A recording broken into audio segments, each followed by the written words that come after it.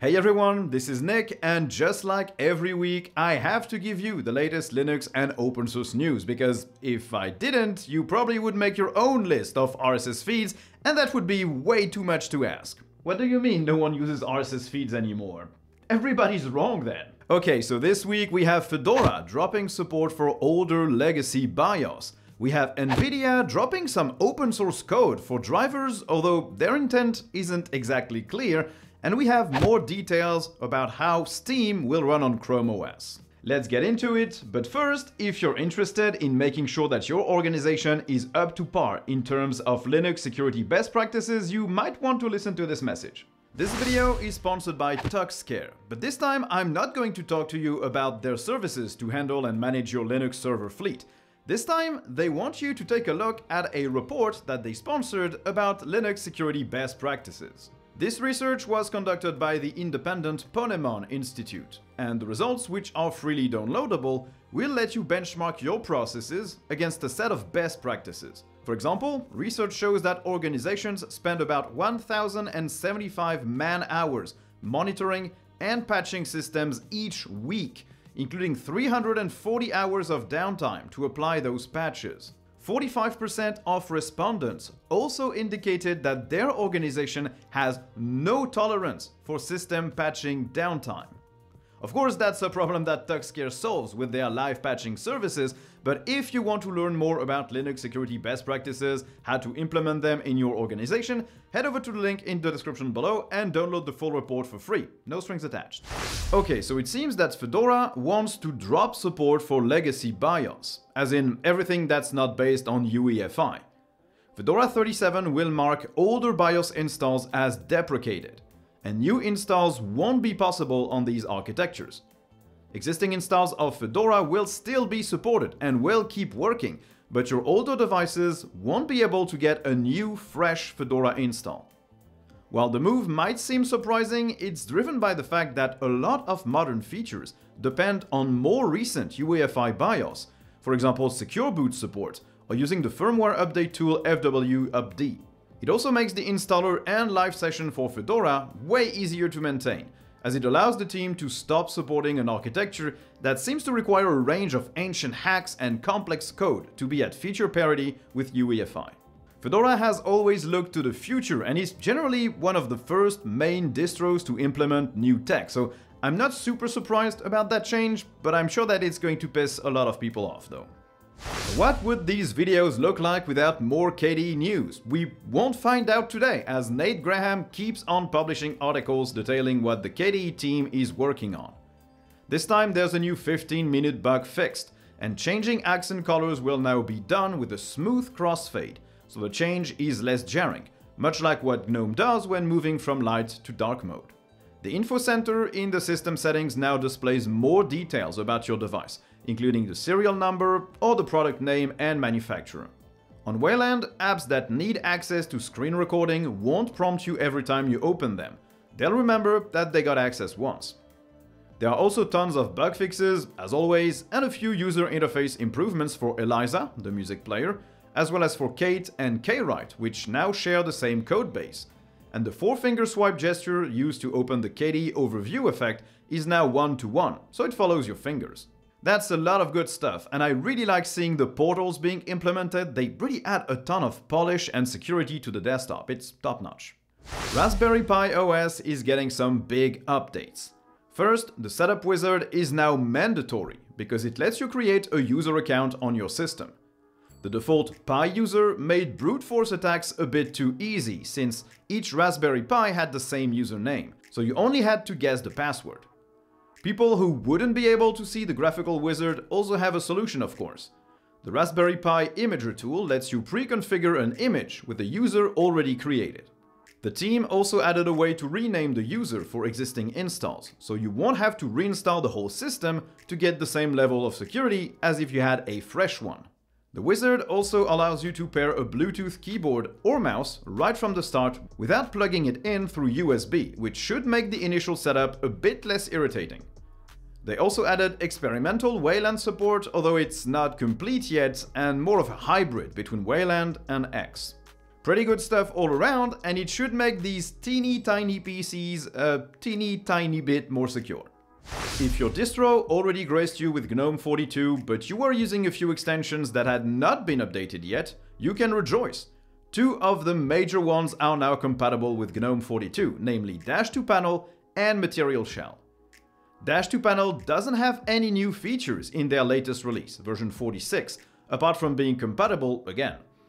You can install it from the GNOME Extensions website or from Extension Manager, a great app I already talked about a few times.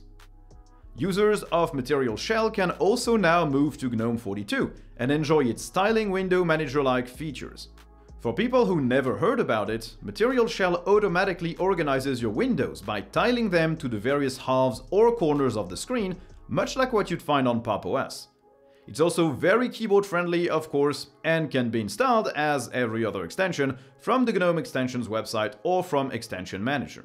So now you have no excuse to not move to the latest and greatest GNOME release. Nice.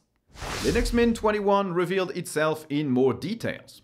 It will of course be based on Ubuntu 22.04 LTS still, and still supports Cinnamon, Mate and XFCE. But that's not all, its codename is Vanessa, and the team is working on a new upgrade tool to make moving from one version to the next even easier. It will be fully graphical and localized, as opposed to the current one that is only in English. It will perform a few checks to see if it's safe to upgrade, it automatically migrates your PPAs and repos to the right version if that exists, and it should generally be a much safer and cleaner approach to upgrading your system. Of course, you will be able to skip some of the checks the app performs if you're certain of what you're doing, like for example skipping the check to see if a time shift backup exists. It will also preserve the mirrors you might have picked for apt, so download speeds should be at their best for the upgrade. The tool will be made available for Linux Mint Debian Edition 4 to move to the latest version 5, and then it will roll out to Mint 20.3 to upgrade to Mint 21. It's nice to see distributions paying attention to the in-place upgrade process, because that can be pretty tricky, especially if you have tons of PPAs and repos which don't get migrated and break your libraries and stuff, it's a good choice. A few distros also got some nice updates this week. First is Endeavour OS, an Arch-based distro that sees its latest release, codenamed Apollo. It brings the Linux kernel version 5.17 and the Mesa 22 graphics drivers, so you should be all caught up in terms of hardware support. It also brings a new window manager called Worm. It seems to be made for X11 and not Wayland, and it supports tiling or floating windows. It's also very lightweight. You will also get a new graphical utility to pick the apps you want to install, and a command line tool to install NVIDIA drivers. MX Linux also got a new release, version 21.1. It's based on Debian 11 and packs the Linux kernel 5.16, the disk utility right on the ISO, and it also improves the installer and updates most of the pre-installed packages. Both look pretty good, I might give them a shot in the future. I know the MX Linux crowd is pretty vocal about how they like their distro. Christian Schaller, the desktop lead at Red Hat, wrote a blog post detailing new things happening on Zink, which is an OpenGL implementation that runs on top of Vulkan. Basically, it means that devices that don't have a native OpenGL driver, but only a Vulkan driver, can still have OpenGL support, because that thing is still widely used by our desktops and applications. This might seem like a minor development, but as manufacturers release new devices, they're progressively phasing out support for OpenGL and focusing on Vulkan. So this ensures that we'll keep compatibility for the time being. This new support will be included in Mesa 22.1 and will be made available on Fedora 36.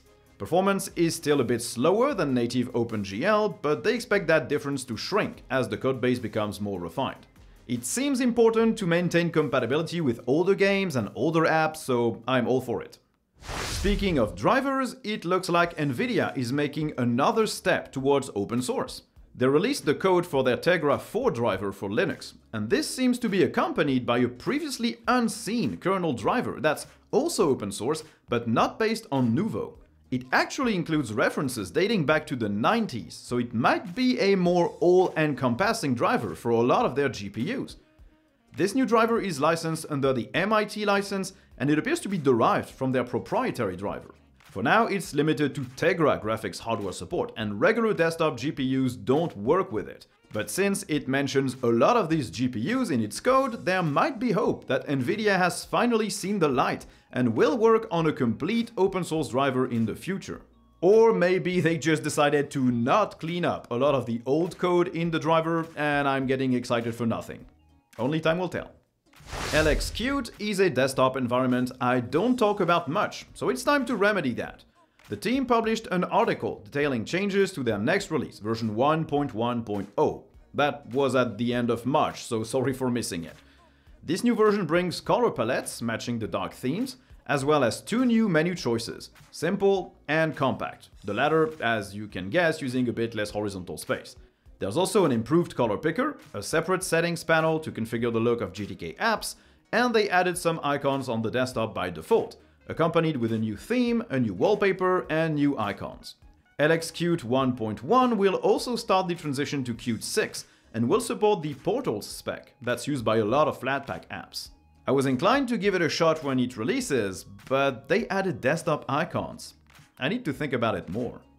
OBS is a wonderful tool, but its performance impact can be quite high, especially when recording gameplay footage. Fortunately, we might have a new solution in the works, called GPU Screen Recorder, a very descriptive name that aims to be the shadow play of Linux. It will start with NVIDIA and NVENC support initially, but the team has plans to make it work with AMD and Intel GPUs in the future. Initial performance tests seem to indicate that it does have a much smaller footprint than OBS and NVENC, and might not disturb gameplay as much. The reason the developers gave is that, while OBS does use the GPU to record the screen, each frame is still passed to the CPU and then back to the GPU, which slows everything down and causes FPS drops.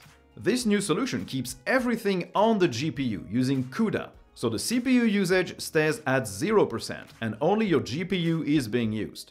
Pretty cool stuff, and I hope they can add that back into OBS in the future, or maybe at least provide a nice graphical user interface to let you like start a recording, start streaming, or at least just configure what you're recording. The Steam Deck journey continues with 2100 games now being playable on the not so small device. We now have 1090 verified titles and 1013 playable games. That's still about 30 games added to the list per day. Big names this time include Metro 2033 Redux, Resonance of Fate, Overlord, Aquanox, or Deus Ex Invisible War.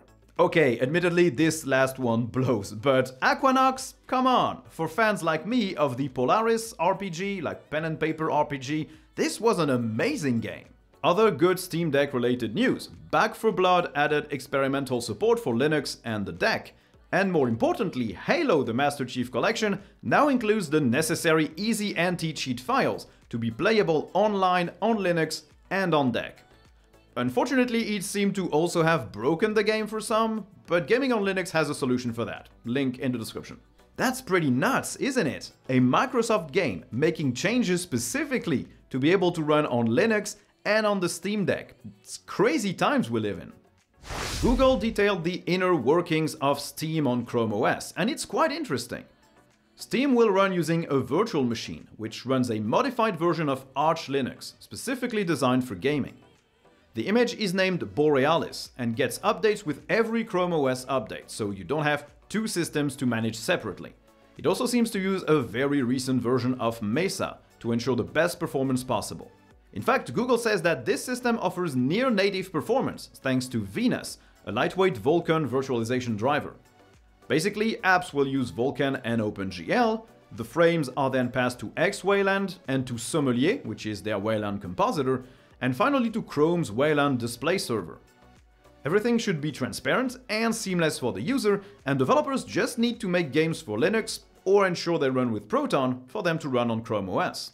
Hopefully this will open up the Linux gaming market even more because Chromebooks seem to be very popular. They already passed desktop Linux in terms of market share.